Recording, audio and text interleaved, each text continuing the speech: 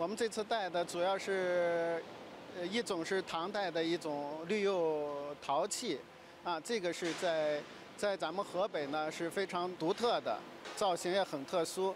它有一些西域文化的特点，在融合的这个里边。另外呢，就是我们有一批南安寺塔地宫出土的文物，哎，就是佛教精品文物。